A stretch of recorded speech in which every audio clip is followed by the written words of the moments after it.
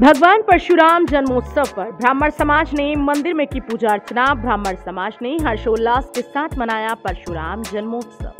दिनांक तीन मई, मंगलवार को ब्राह्मण समाज ने भगवान विष्णु के छठे अवतार, परशुराम जी का जन्मोत्सव धूमधाम से मनाया। इस मौके पर दिल्ली रोड स्थित कैला देवी मंदिर में ब्राह्मण समाज के लोग एकत्रित हुए और पूजा अर्चना की। सभी ब्राह्मण जनों ने भगवान परशुराम के चरणों में पुष्प चढ़ाए और उनकी स्तुति की। सभी ने समाज की खुशहाली और तरक्की के लिए भगवान से प्रार्थना की। इस मौके पे बड़ी संख्या में ब्राह्मण समाज के लोग मंदिर में मौजूद रहे।